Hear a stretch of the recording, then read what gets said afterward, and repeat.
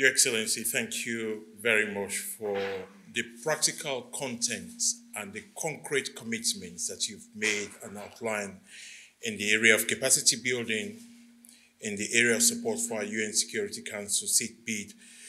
Well, I'm very pleased. Uh, the testimony of the signing of the roadmap for political cooperation that we've just completed is a testimony of the nature, the quality, and the content of our very strong and long-standing bilateral relations. Your Excellency, what we're doing here is really just to, to take forward what our two heads of state want us to do, to bring two parts of Africa together as one, the Kingdom of Morocco and the beautiful country of Sierra Leone. Uh, Your Excellency, the roadmap is very clear, but to be able to translate the contents of the roadmap, I'm very pleased that tomorrow we'll be officially opening the Sierra Leone Embassy in the Kingdom of Morocco. Uh, that in itself is a testament of our commitment that we are here for the long haul and we believe in this African solidarity and Pan African brotherhood and sisterhood. Your Excellency, we also look to the opening of the Embassy of the Kingdom of Morocco in Freetown. And I'm very pleased with all the assurances that you've given. Uh, because when we do that, then together we have our first point of call in our respective countries for collaboration and coordination.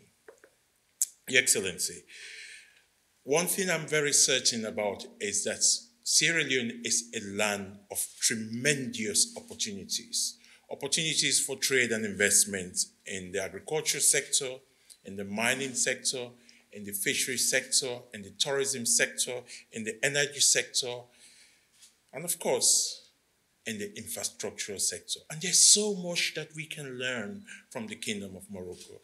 I was very pleased, Your Excellency, when you said 15 years ago, the number one aspect of the GDP was agriculture, and then second, tourism. But today, it's automobile and aeronautics. Phenomenal transformation. Sierra Leone, as a small emerging country, we have no small dream. So we want to learn from the King of Morocco how you have made that transformation. And that is why uh, His Excellency, the President Dr. Julius Maada Bio, has made it a priority to focus on investment in human capital development. As I indicated to you, even at the height of COVID-19 pandemic, we never reduce our budgetary allocation. So today, and we continue to allocate 22% of our national budget, the GDP, to education alone. So 2.6 million children out of a population of 7 million people go to school free. And in some areas where they are deprived conditions of poverty, we provide school feeding programs to increase school enrollment and retention. So trade and investment is very important component of what we want to do. Uh, but to be able to do that, the political component is also very important. So that is why we support uh, the Kingdom of Morocco and the Federal Republic of Nigeria's gas pipeline project. This for us is important. Again, I take a leaf from you, Your Excellency, that as you said that a couple of years ago, uh, 90s, uh, the access to electricity was 52% in the kingdom. And today, it's 91% in the kingdom. So with this uh, gas pipeline project, we have no doubt that Sierra Leone will be a beneficiary of this as part of the 15 member countries. And this demonstrates the leadership and the global standing of the Kingdom of Morocco to support energy security and access to electricity for ordinary peoples across the West African sub-region itself. Politics is never far from development. And that is why I'm very pleased, Your Excellency, about your ringing endorsements for a bid for a seat in the UN Security Council in the non-permanent category for 2024-2025, of which election will be held in June 2023. You have been part of the UN Security Council non-permanent category. We know you have a wealth of experience and expertise And make no mistake, we will be knocking on your door for that expertise. So it is not just canvassing and soliciting your support, uh, but also to share with you your wealth of experience and expertise. And I did say that the Kingdom of Morocco is a global player, albeit in Africa and in other parts of the world. Your membership of OIC is key. Your membership of the Arab League is key. So we want to come to you again to leverage that global standing and leadership to support our UN Security Council bid. Because as you know, the African vote amounts only to 54 votes. We need to have two thirds, that's um, 97 votes. So we want to come back to you again to provide that additional support. And Your Excellency, be rest assured that we will support and will endorse and canvass and campaign for your seat in the UN Security Council in the non-permanent category for 2028-2029. Because we know when you are there, you will cater for the interests of Sierra Leone. Likewise, Sierra Leone being in the UN Security Council will also cater for the political aspirations and interests of the Kingdom of Morocco. Your Excellency, given the special relationship between our two countries and peoples, we are very clear that we want to expand our diplomatic footprint across the kingdom. And it is on that light that I want to announce that we will be establishing, in addition to officially opening the embassy, the Sierra Leone embassy in the Kingdom of Morocco, I have already directed uh, my ambassador to progress the opening of Consulate General in the cities of Dakhla and Laayoune. That for us is important because it demonstrates the strength of our partnership, but also the Moroccan Sahara issue in terms of our position and our understanding the territorial sovereignty of the Kingdom of Morocco over Moroccan Sahara. We support the UN position on this in terms of the political negotiation. Only to the main cities of the kingdom.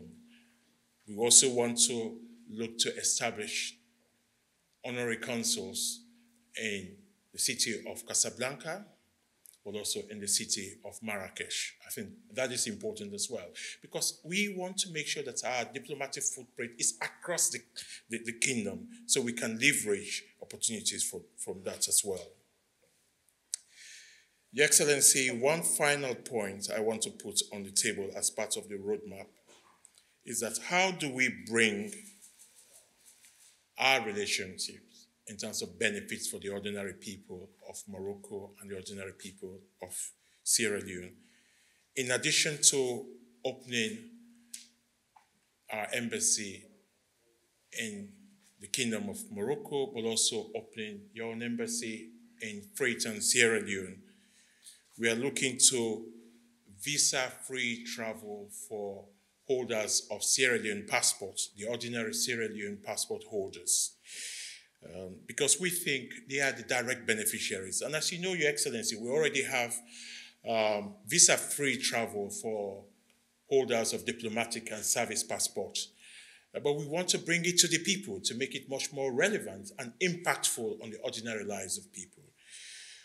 And I'm very pleased, Your Excellency, with your consideration that you will engage with your colleague ministers, um, especially internal affairs and immigration, to look to facilitating this process as well.